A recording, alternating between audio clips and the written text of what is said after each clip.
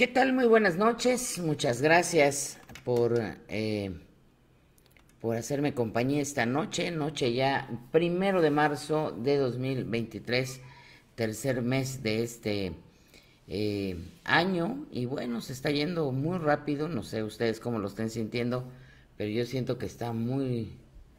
Pues ya se nos fue enero, febrero y este. Y todavía no. Siento que sigue la cuesta de enero. Este, ya veo, ahorita le subió otra vez la, el kilo de tortilla. Vamos a ver hasta dónde. Y los huevos también están subiendo. Pero bueno, vamos por... Y murió hoy doña Irma Serrano. Ahorita de todo eso vamos a platicar. Bueno, ¿y qué le cuento? Pues eh, ya finalmente, al final de toda la conferencia que dio Elon Musk, Elon, ¿cómo? Elon Musk en, eh, em, allá en Estados Unidos, donde eh, con los inversionistas pues dio a conocer todos los proyectos que tiene de inversión en todo el mundo y como que ya se le estaba olvidando lo de México. Y bueno, finalmente dijo que sí, que va a invertir en México. Y quién cree que estuvo ahí, aparte por el gobierno federal mandaron a la a Marta Delgado, la subsecretaria de Relaciones Exteriores, pero el que estaba invitadísimo y en primera fila y hasta foto tiene con él, es este Samuel García, ¿eh? el, gobernador de, de, este, de Nuevo León. Y es que estaba yo leyendo que pues él lo amarró desde que él fue a Davos, ahí donde no quiere ir el presidente, o de que tendría que ir ahí para amarrar inversiones para el país. Bueno, pues eso lo hizo este Samuel García, que sea lo que sea el chamaco este, pues es más visionario y, este, y ahí se reunió con gente de, de Mosque y le dijo, no, miren, pues yo aquí soy Juan Camané y todo el rollo, y ahí amarró. De hecho, eh, muchos dicen, bueno, el hecho de que el presidente no se pudo echar atrás es porque estaba muy amarrado con, con Elon Musk el tema de, de Santa Catarina o, o, Monterrey. Este, y bueno, pues te digo que hasta invitado estuvo ahí Samuel García y la foto con Elon Musk ahí, o sea, de mis, mis, mis.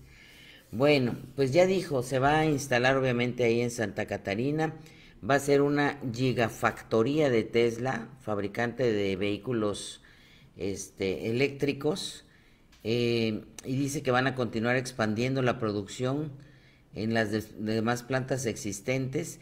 Dice que la fábrica de México, ahí se los dijo a los inversionistas, no va a suplir ninguna otra planta, será suplementaria para quedar claros. Dijo como que tenían, como que yo creo que por eso no lo, no lo anunciaban porque creían que iban a este a suplir alguna y no, dijo que esa parte, ¿no? Va a invertir 5 mil millones de dólares y bueno, lo que busca Tesla es ampliar sus operaciones fuera de Estados Unidos apoyado en la conectividad estratégica de Nuevo León y de los beneficios que otorga el TEMEC. Y es que tan se adelantó este Samuel García, que ya hasta compuso una carretera que lleva, eh, o se hicieron así como un pacto, que ya tiene algunas, eh, dijéramos, empresas socias de Tesla, eh, les hizo el camino directo hacia la garita, la aduana, para que pasen más esto lo empezó ahorita a presumir este Samuel García. Quiere decir que eh, tiene meses que lo estaba planeando, que estaba planeando todo esto de atraer inversiones para Nuevo León. Ojalá, y pues, lo que se pregunta es dónde está Raquel Buenrostro, que es la secretaria de Economía, que es la que debería estar trayendo todas estas inversiones, pues no nada más a, este, al norte del país, si tuvieran una visión, como dice el presidente, cada, cada empresa va a buscar dónde instalarse de acuerdo a sus necesidades. ¿Se acuerda que vino Herdes y se pusieron en la selva? No sé si todavía sigue. Eh, con Albores trajo a esta de Axa Yasaki, que todavía funciona aquí en Tuxtla Gutiérrez. Em, ¿Qué le digo? Estuvo Herdes, eh, está la de Marina Azul, que es una inversión de, de chiapanecos, pero que ha crecido y exporta el atún estos de la Marina Azul, este, azulitos, y que tiene ahí, le vende mucho al ejército de Estados Unidos. Este eh, está también con patrocinio, me acuerdo que vino eh, estos de chiquita que son de plátanos, también se exportan los plátanos. Es decir, que si quieren los gobernantes este, que vengan inversiones, pues hay que ir a, buscarlas, no, no van a caer del cielo, ¿verdad? Entonces, lugares donde invertir, pues yo siento que el sur, o sea, el Soconusco.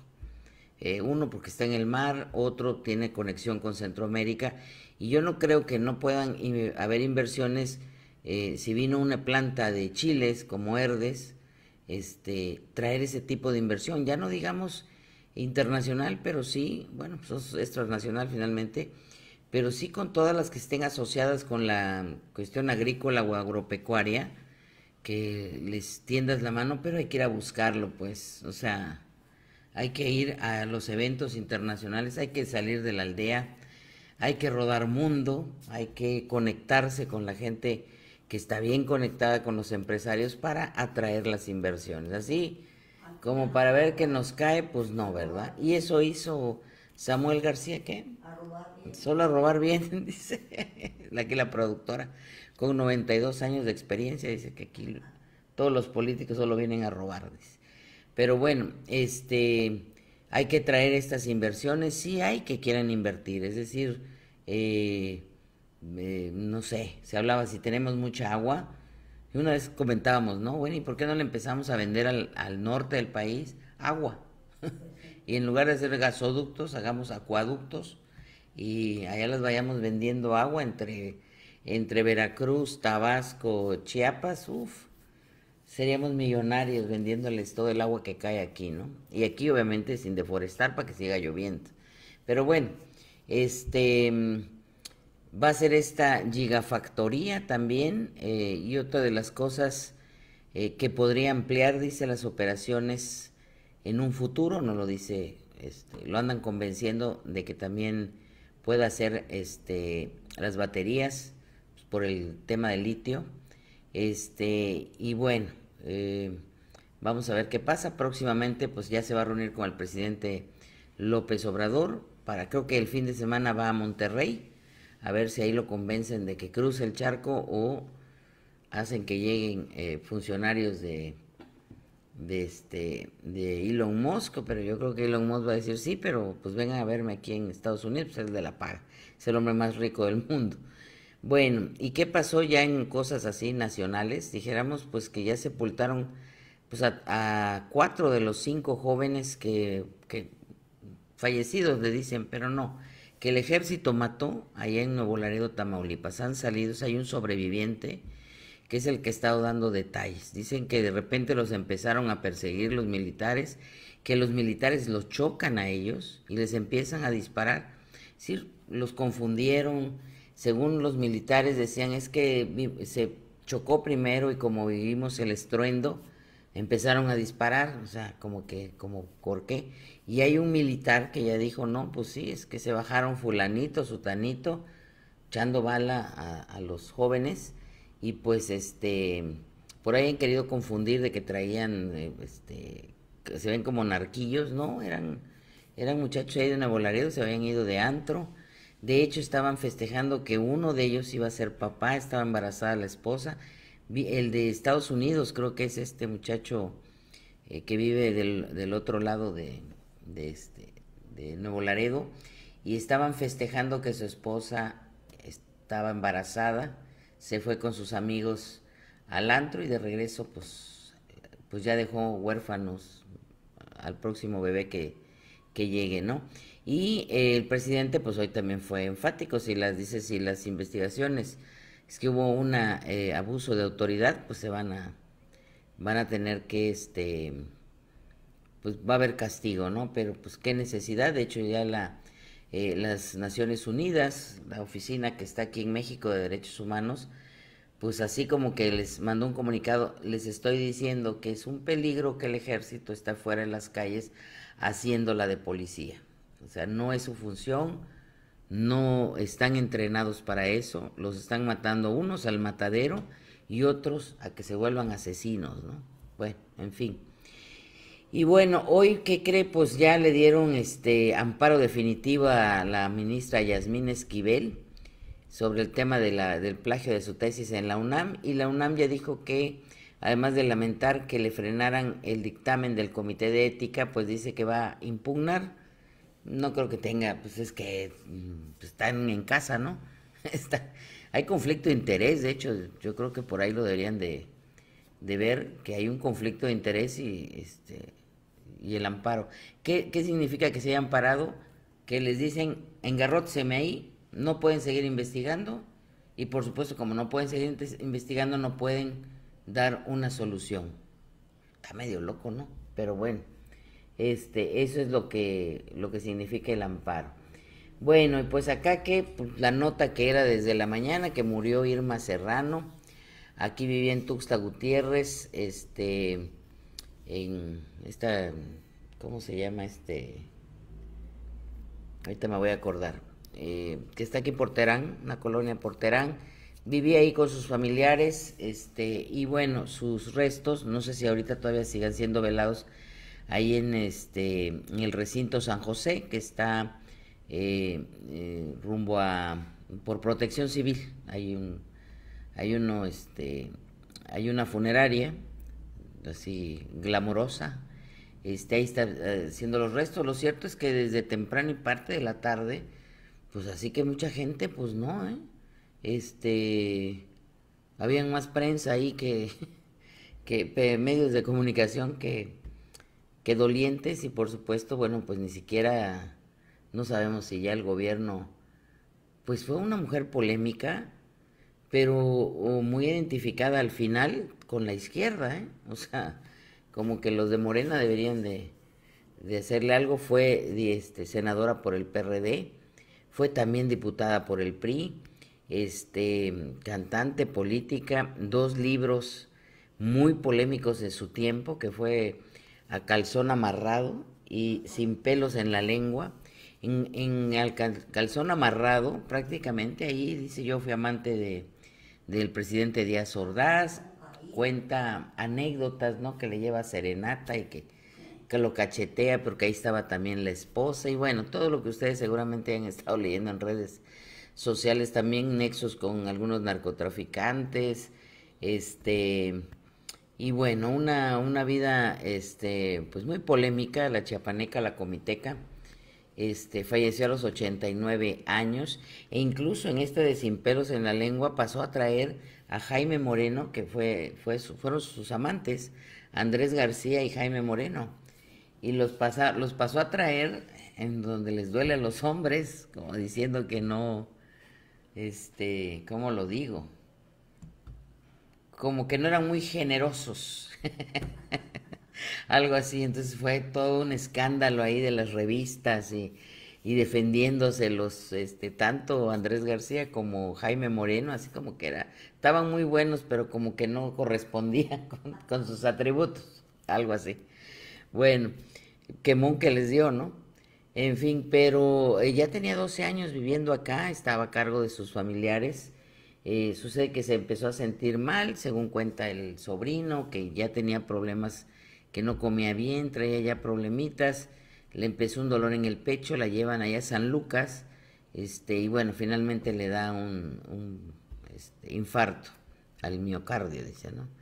Este, y bueno, polémica em, desde los sesentas, y obviamente de estas actrices o artistas, pues no operadas, ¿eh? operadas hasta recientemente, pero este, de jovencitas, pues eh, muy guapas.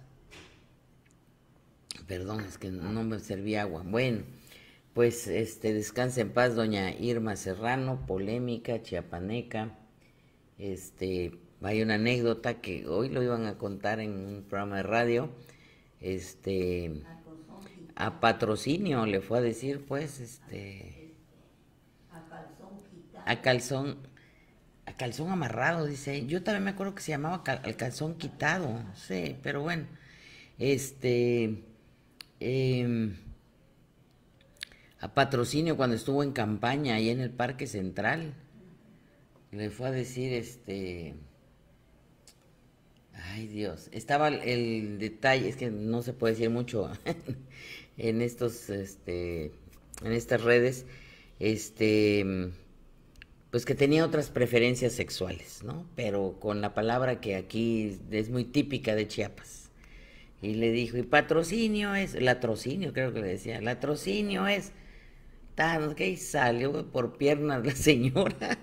y bueno, fue senadora, fue nuestra senadora. Bueno, ¿qué otra cosa le platico? A ver qué han comentado, porque ustedes ya se han de haber echado todos los anécdotas, de seguro. José Luis, gracias, muchas gracias hasta Comalapa. A ver, déjenme ver. Rodrigo, saludos, buenas noches. Este, muchas gracias, Rodrigo, por tanta flor y tanta planta.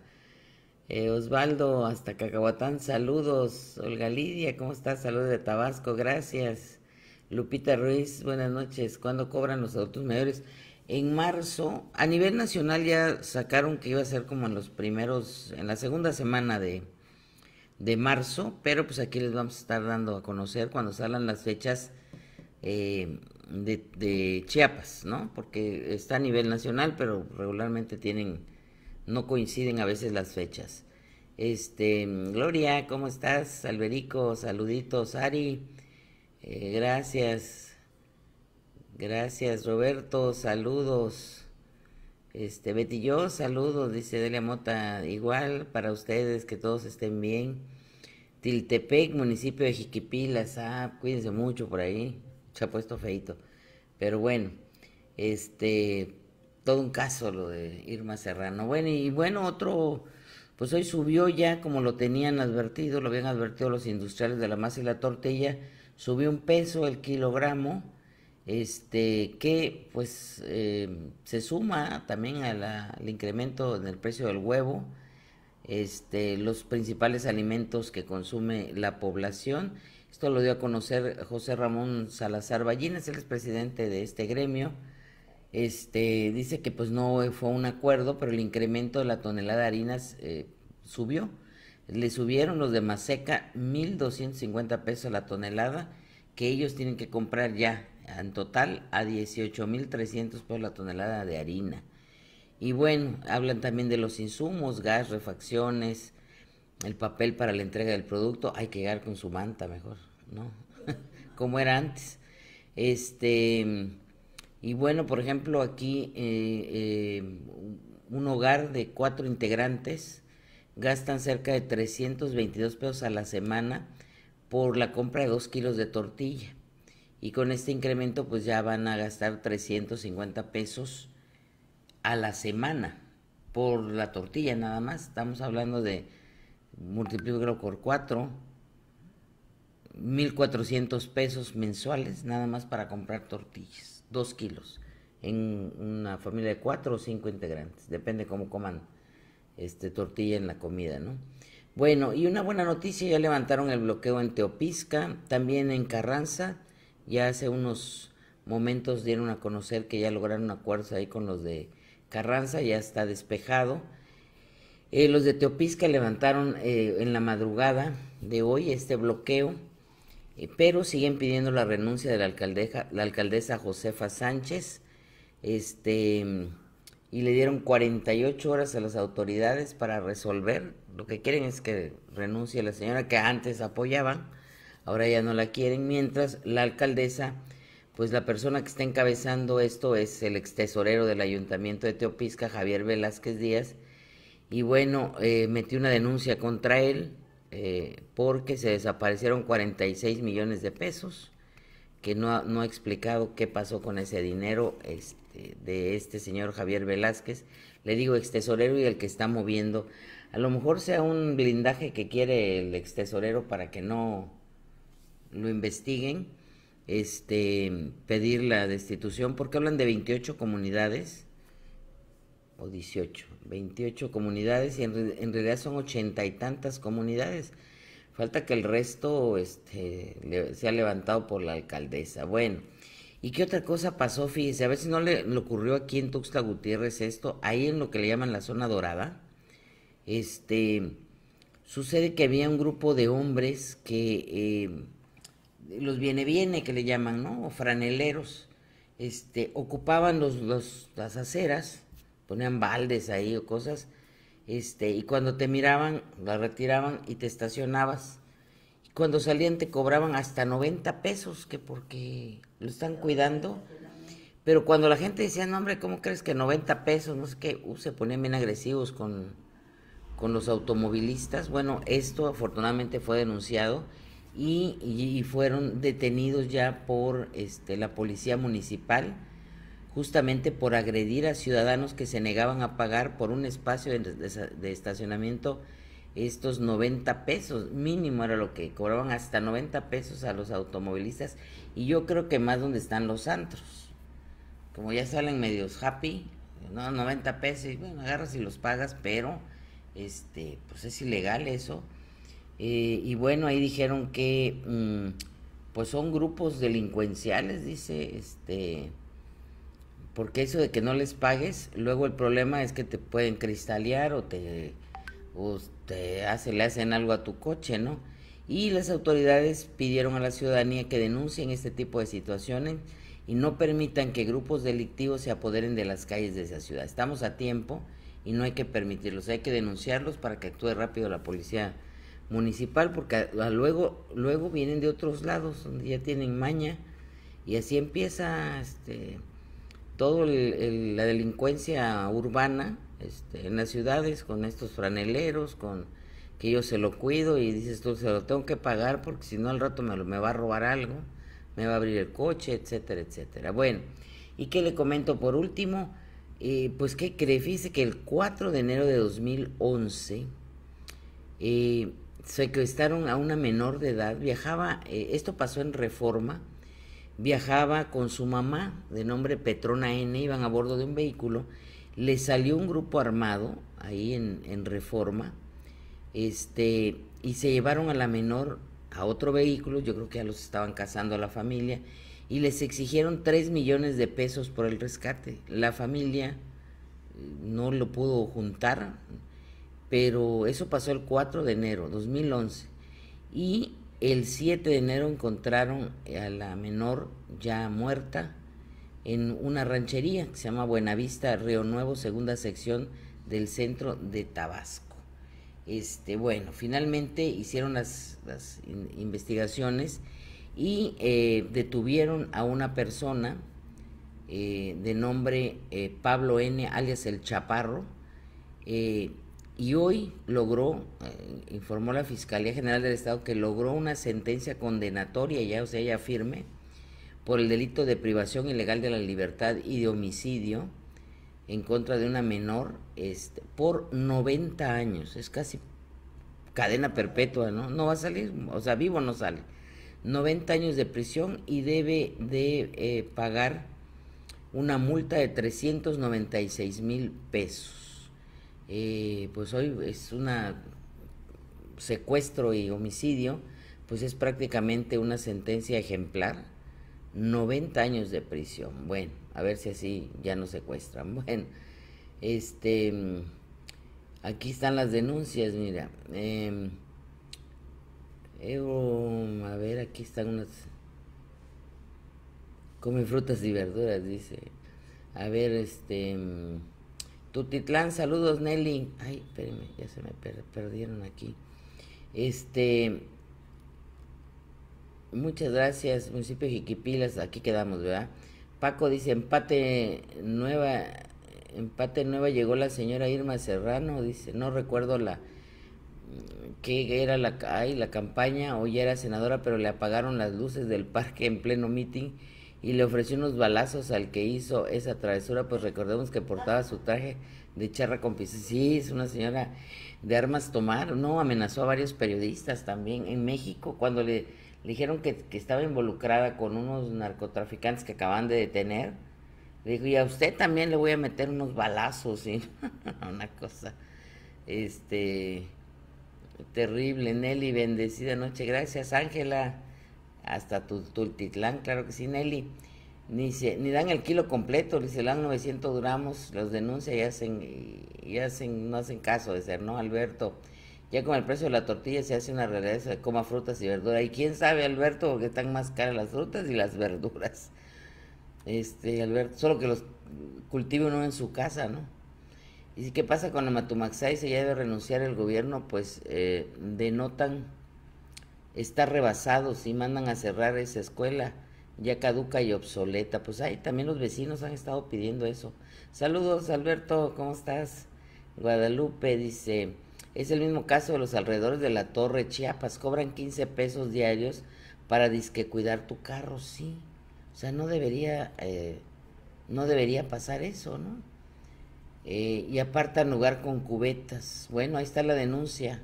Alrededor de la Torre Chiapas, señores que hacen el monitoreo, 15 eh, pesos que están cobrando y están apartando el lugar. Cecilia, saludos todos a la marcha contra los puentes en Tuxta Gutiérrez. ¿Cuándo va a ser este, Alberto? Recuérdanos. Uy, yo tenía ese dato.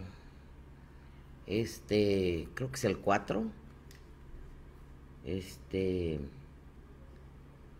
Em, pero pues aquí les vamos a estar. A ver si nos pasas este datos, este Alberto. Hay un, hay un post que, que leí. Creo que hasta publicamos nosotros, pero no recuerdo ahorita la fecha. El domingo, perfecto. Gracias, Alberto, el domingo. Eh, es este de eh, menos puentes, más ciudad, y bueno, es el llamado de la ciudadanía, menos cemento, diríamos, ¿no? y más ciudad. Saludos, Nal Forres, Estado de México, gracias. Me entero que pasa en mi bello estado. Gracias a ti, este, Nat Forest.